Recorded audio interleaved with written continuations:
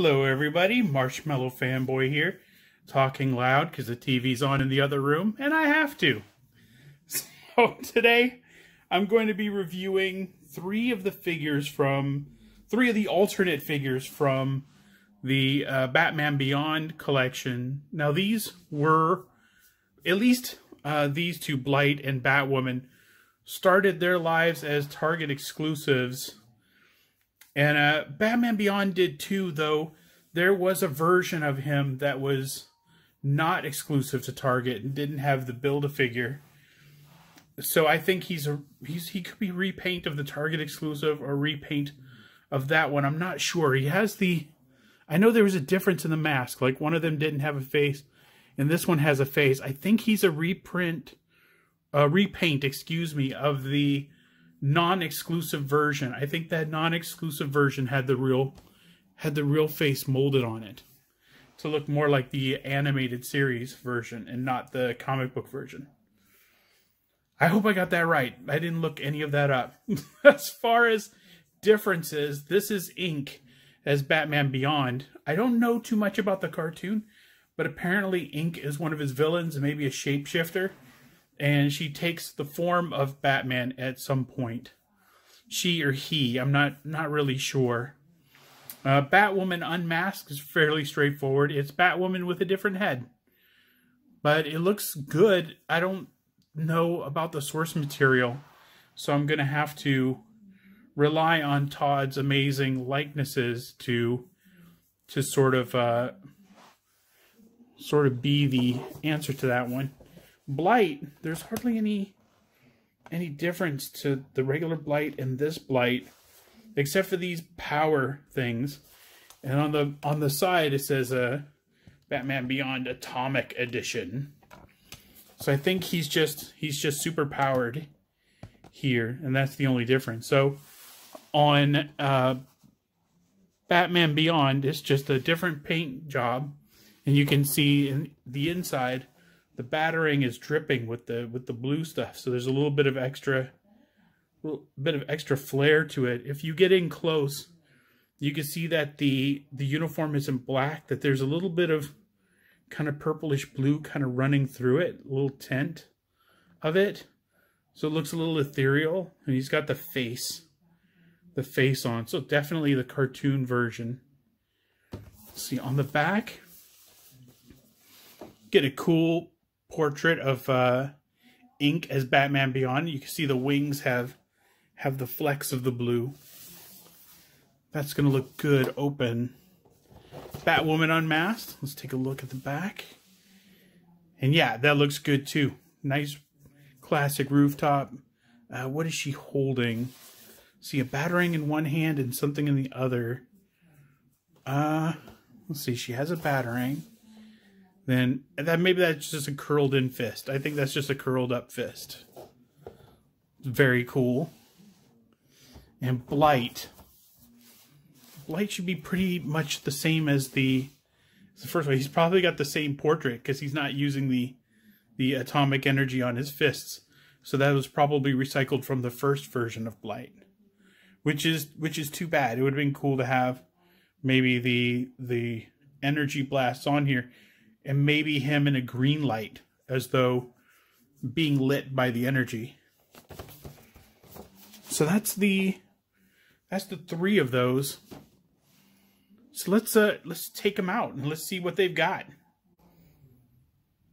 Okay, now that they're out of the package, let's take a closer look at this Batman Beyond set from McFarlane Toys. And let's start with Blight. He was the one I was at first most sort of disenchanted with. I I wanted him because he looked really cool and I really liked the first release. I don't know if it's worth it to have the extra fists, and I didn't look up what the differences were. Still love the skull inside that mask. It just looks really amazing. Can barely see it, but it is there. It had this little uh, plastic thing in the package that separated the peg from the head. I put the head in. I didn't think to, to show it to you guys, but but the head is in there real well. And the head has some movement and has kind of a well, it has a it can look left or right anyway. When it was loose on on that thing, it it kind of moved side to side, but this is tight. But it looks really good. The the the energy effects look cool. They match the head, which is a bonus. The arms bend about that much. The arms come out to about here, so it gets a lot of range of motion. Gets, uh, of course, all the way around. He has a little mid mid torso bend, so like so. Uh, he can bend backwards, but forward is a problem. He has a little little thing that hangs down here that kind of prevents him from going forward. Legs go up, and see the knees. I'm not bending them all the way. So let me see if I can bend them all the way. And I think that's that's all the way bent. So you can see this strap sort of matching the back of his back of his thigh there. Um, it's got these clear plastic green things, which are very cool. I was hoping that he lit up. I was I was pretty excited when I saw that the head was separated from the peg. I thought maybe it was because it lit up or something and it needed some extra protection. But it does not. Let's see the ankles forward and backwards, side to side, and a toe bend. Or toe hinge, rather. And that is Blight. Blight looks cool. Blight is a gosh, I don't know if he's a winner. I can't remember much about the first the first version. I think it's the same as this version except for the fists. And I might have that completely wrong. Could be he came with other things. He's a cool figure either way. I like him. So let's see. Inque as Batman Beyond and Batwoman Unmasked. Now, right off the bat, I have a sort of a gripe. Yeah, it's a gripe. Batman Beyond, Inque as Batman Beyond, rather, has the flight stand, but he doesn't have the thrusters. And Batwoman Unmasked has the thrusters and no flight stand and you can you can trade them out. You can put the the boot thrusters on Batman Beyond if you want to, and they look great. Yeah, just like that. And you can put the flight stand on Batwoman and she would look awesome as well. So since Batwoman is down there, let's start with Batman Beyond. If I can get him off the flight stand The flight stand I like. It's just a really nice touch. It's it's a it's a solid piece. It's real dependable. It has a peg if you want to stand them up and just take this take slide this off. Has the the gripper. You can can um I don't think you can do much with it. Oh, there we go. You can kind of bend it up and down if you want him him or her flying. So that's very cool. Batman Beyond, or Inque, as Batman Beyond comes with an extra pair of hands. I already switched one of them out to grip the Batarang. And I'm going to try to get this a little bit closer. You see all the blue on him. All the kind of blue flecks in the in the abs. And uh, through the legs. I think the light is bringing out the sheen on, on everything. Really nice. So you see that there's obvious paint apps that are just really nice. And I, we haven't seen these, I don't think, on a McFarlane figure before. This kind of, it's kind of marbling. It's really cool. So just like the regular Batman Beyond, the wings move completely. Of course, it has little holes in there, so you could put the put the gauntlet uh, blades through the through the holes if you want to. Also, the batarang that he dropped has the it's kind of the blue ink dripping from it. So we'll put this together over on that side.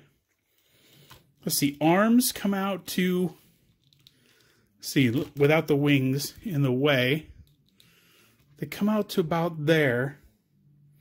Oh, look, he's like dancing. Hey, you know, that was weird. Sorry about that. He's got, wow, his uh his arms bend farther than mine do. That's uh that's weird. The wings are always a little bit difficult at first to manipulate on these, but there we go.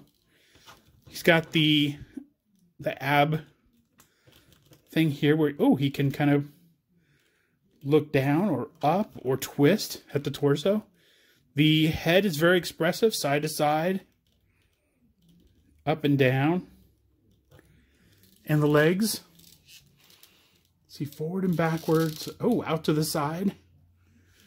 And see double hinge so he can kick his own butt. See the hinge up and down. It's a ball joint. goes over like this. And then the toe hinge. Very nice. Batman Beyond is very cool. And Inque as Batman Beyond. Like I said, I don't have any experience with Inque. Uh, I don't know that I've seen the cartoon that has Inque in it. So that is my bad. Let's see, Batwoman Unmasked, who's already fallen over. See, very cool unmasked likeness. I can't tell you how much um, it looks like the character that it's based on, but my guess is that it is great.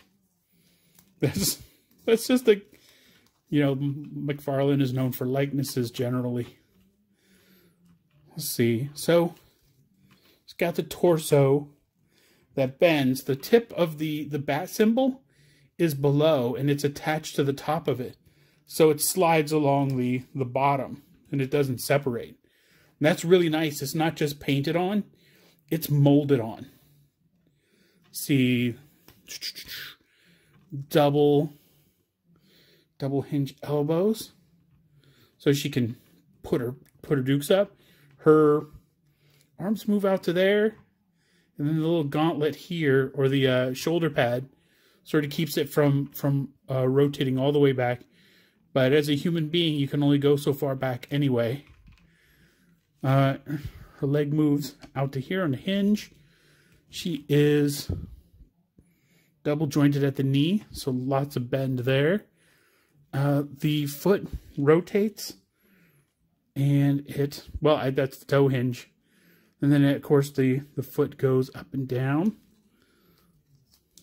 And the head, the head turns, she gets a little tilt. You're not going to get a lot out of her, but, oh, she looks all the way down. Look at that. So if she's flying, she can look at you while pelting you with batarangs. Batarang, batarang, batarang. Like that. Yeah, so very cool. That is my review of the Batman Beyond set from McFarlane Toys. These are these are all alternates. The only figures that you need if you have all of these is maybe Batman Beyond. And other than that, I think she looks great without the mask. I don't know if you need it. If you do, you might try eBay and just get the just get the head sculpt and and you're all set. Uh, Blight, I don't know if the first one came with anything different. My feeling is that it's it's more complete with the atomic energy than it was with the with the regular. But uh, your your experience might be a little bit different. But this is these are good additions to the collection. I like them very much. See you next time.